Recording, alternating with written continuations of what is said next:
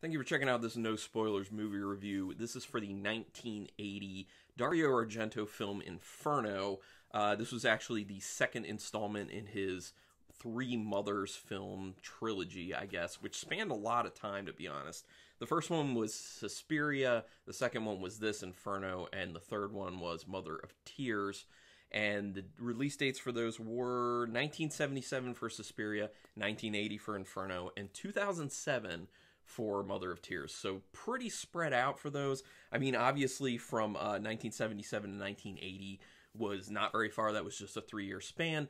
But then um, 1980 to 2007, large span of time. So I've not heard many uh, very good things about Mother of Tears. Obviously, people love Suspiria, and there are a lot of people who really like Inferno. Apparently, when Inferno originally came out, this film did not do all that well. It was not highly regarded or anything, but over time it's kind of gained steam. A lot of people have looked at it in a very different light, and it's considered to be one of Argento's masterpieces, apparently. So, this is actually my first viewing of it, so I'll let you know what I think. And when this video is being recorded, uh, it's actually streaming on the Shudder streaming service, so awesome. Um, also, Deep Red is on there at the moment, and to well, Phenomena and Tenebrae were on there, but I think they may have cycled off because uh, I actually tried to watch Phenomena, but it's this weird thing where like the icon for it is still there and it shows up as being available, but it's not actually there because if you like search it, it doesn't come up. But if it was in your uh, save list, it is still there as an icon. So anyway, um, I really like the concept of this trilogy. It's about witches. That's not really a spoiler. Everyone knows that. It's about witches. Uh, that so there's one in each of the films, and they all do tie together because it's the concept of these three witches who kind of rule the world. So uh, it's it's different. I guess running in runnings in with uh, these witches in throughout these films, and Inferno I think does overall a, a, a pretty good job of keeping that going. Um, I will say though that I I think I think it's like a, a light, it's very light on the actual plot and story in this film, and it relies way more heavily on visuals as well as kind of like the journey of people kind trying the kind of trying to figure out what is going on, who is this witch, what is the, you know, what what's happening here. And it's kind of giallo-ish because there is kind of like a gloved killer in it, but at the same time it's not very giallo because the focus is you know one of the three mothers. So like it's a little giallo-ish but it's not really technically giallo i don't think. I don't know how it's like technically categorized but i would not categorize it as actual giallo. It's just got a little bit of it to it. Um, so much like with a lot of giallo films the story's kind of light. If if you just played it straight, just the story, you'd be like, that's not all that interesting. That's not that great. And that's kind of at play here. But the the like I said, the the great part of it and what holds your interest is the visuals are outstanding and just the journey that people go through, all the investigating that they do, and the settings that they're in is a lot of fun.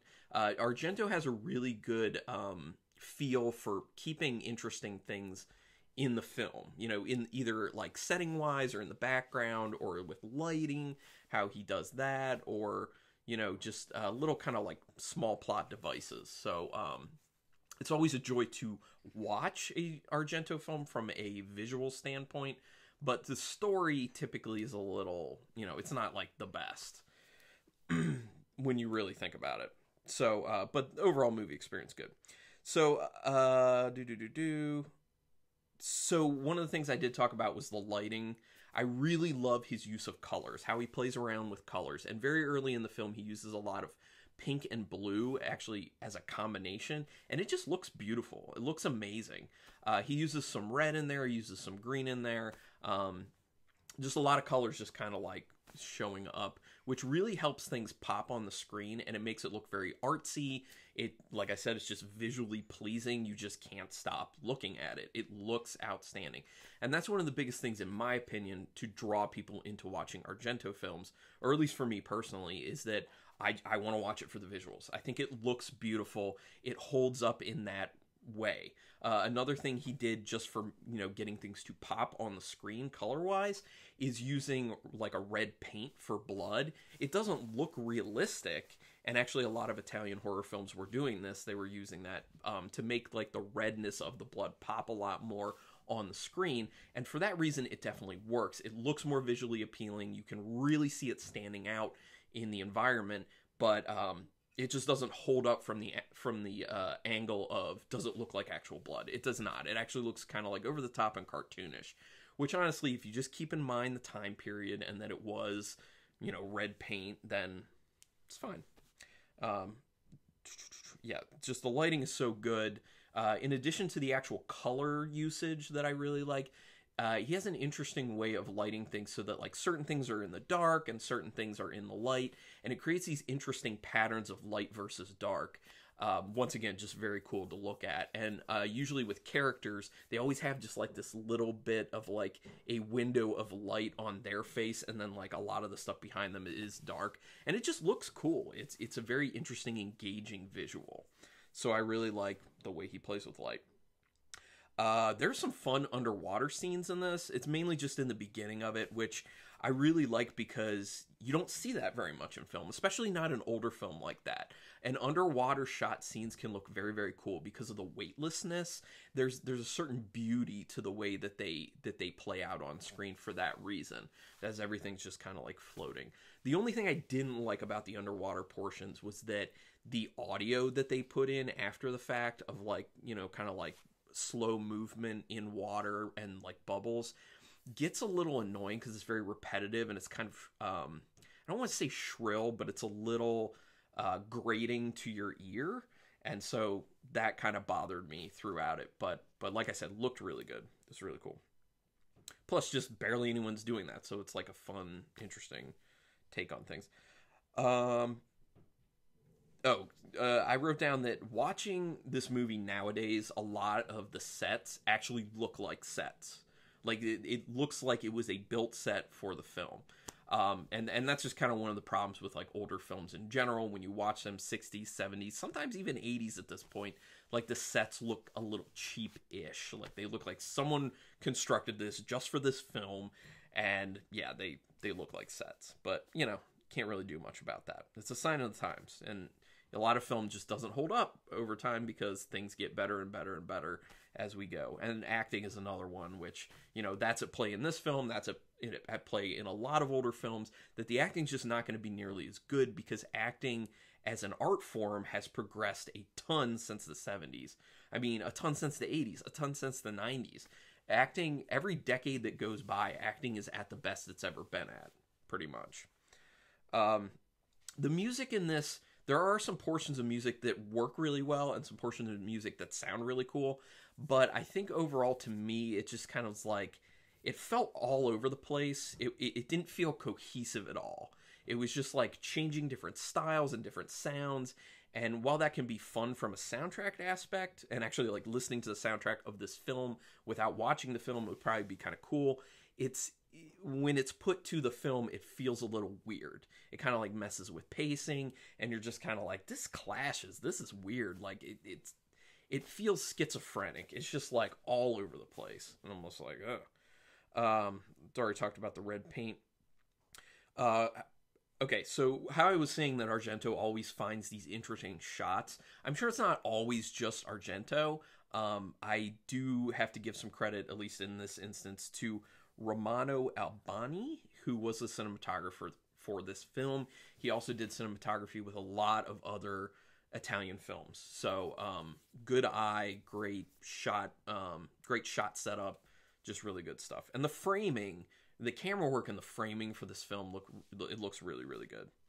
Uh, the ambiance is creepy, and it's pretty much creepy the entire way through. There's a lot of darkness used, and like I was saying, when there is light, it's not total light. It's just like little pockets of light, which maintains creepiness throughout the film. Um, overall, the ambience uh, ambiance in this was very awesome. They set up a really good environment that keeps things dark. It keeps things creepy. It keeps you kind of on edge, like anything could happen at any time. Um, yeah, it's cool. Uh, there's some pretty violent violent death scenes in this, uh, and some that are pretty gruesome obviously the practical effects don't really hold up nowadays but if you think 1970s or i'm sorry This was in 1980, but still basically you just got out of the 70s. So think 1970s as far as the practical effects go, and you'll you'll be more forgiving. You'll understand. But for that time, these were probably very uh, kind of um, cutting edge, gruesome, violent death scenes, and some of them I think are still effective. So um, those were good. Uh, I like the cool little visual touches um, with not just the interesting lighting, but also he was doing some cool things where he'll focus on much smaller things. Or like here's a, a, prime example of something that really caught my eye was there's a door being locked at one point. Excuse me, allergies. There's a door being locked at one point, and instead of showing like the outside lock like moving, what it did is it was a shot of like a cross section of an actual lock like the internal portion of it, showing it engaging the locking mechanism. And I think that was really cool because it's something that people don't see all that often. It just was super, super interesting. Let me fix this lighting. There we go. It's just super interesting to see stuff like that. It's just a different take on showing you something that's shown in films time and again but he's saying, you know, yes, you know, this door is locking, but let me show you a different way of getting that through to you. And it's just more interesting because how often do you see the internal mechanisms of a lock, especially in a film? I just like that a lot. Um, like I said, the, the the story's actually pretty light with this, so a lot of it's in the visuals, a lot of it's in the journey of investigation and discovering what's going on. The set design has a huge uh, thing, has a huge, huge portion of the interest in this film. Um, okay, let me get to the three main big complaints that I have with this film. One of those big complaints is that it does seem too long. I think it's like an hour and 40 some minutes or something like that. Um, it keeps you engaged, but there are these moments where it's just kind of stretching a little too far with people doing kind of stupid, mundane, uh, uninteresting things.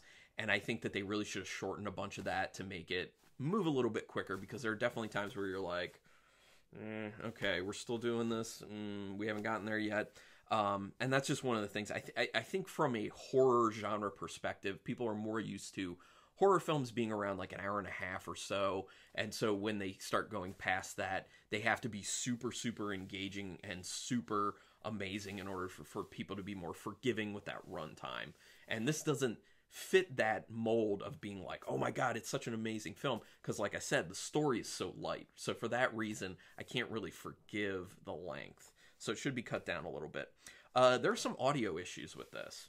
And that is that, uh, you know, one character will be talking and their audio is totally fine. Then another character will talk and their audio is way low and you can't even hear them.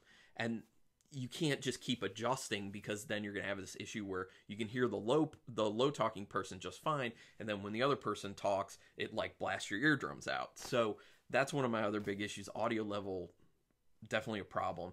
And then probably one of my bigger things and and some people don't have this issue but some people do uh, there's some excessive animal cruelty in the film which i'm not opposed to having in film the idea of scenes with animal cruelty. But the problem is back in this time, they were using actual animals in the film. Nowadays, you can use CGI, and if it's like CGI animal cruelty, no problem. I don't care. That's fine. Go ahead and do it.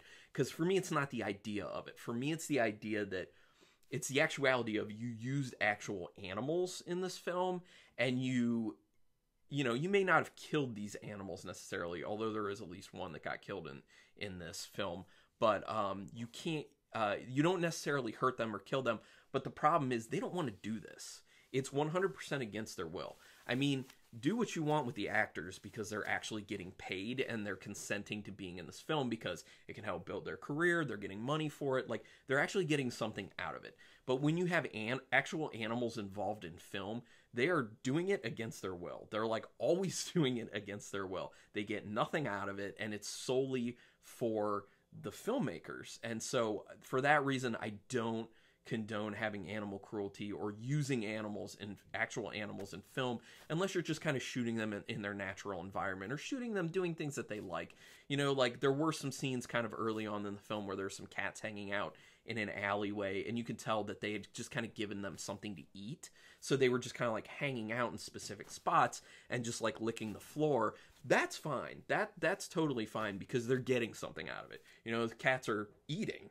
Cats love to eat, you know? So something like that's fine. Just bringing them in, sitting them down and giving them something to eat, not a problem. But there's there's some portions where they're they're like throwing cats and there's other stuff too, but it's just I have a problem with that, and that's my reasoning for it. I know there are some people. The usual argument is it's a depiction of cruelty to animals, and that makes me offended. That's not me. Like I said, if it's like CGI or it's practical effects animals and it's cruelty, uh, fine, especially if it's part of the film. But with this film, um, it, it's actual animals and it's not part like it doesn't have to be part of the film. There's not a real reason to have it no, there's not a real reason to have it in the film. Um because it didn't play like a real legitimate part. It actually kind of seemed out of place in my opinion. I was just like i don't get this. So anyway but the, those are my big issues with the film. Um, but overall, I mean, I think I enjoyed it. Like I said, once again, I've said it numerous times now, the story is light. Uh, but I do like the idea once again of these three films that kind of have this shared universe in a sense. And not many people do witch movies. Haven't, you know, over decades, not many people have done witch movies. Pretty much no one's doing them now. There are a few here and there, but um, okay. So anyway, my star rating out of five stars with half stars in play, I'm gonna give it a three and a half. Um, yeah, I like it uh, mainly for the visuals. But um, yeah, and and I would recommend it to people if they want to check it out. But you know, just be warned about the animal cruelty thing because I know that is a big trigger point for a lot of people. So anyway, thanks everyone for checking this out. Um, please hit that subscribe; it can really help me out a lot, and it literally takes you about a second. It is painless, but it can do a lot for me, and I appreciate that. That's the way you show me that you like what I'm doing, or like even one video that I did. Uh, put some comments down there. What are your thoughts on Inferno? And if you haven't seen it, are you going to check it out now? And then you can give likes. If you want to do that, you don't have to. Anyway, thanks for checking this out. Until next time, keep it brutal.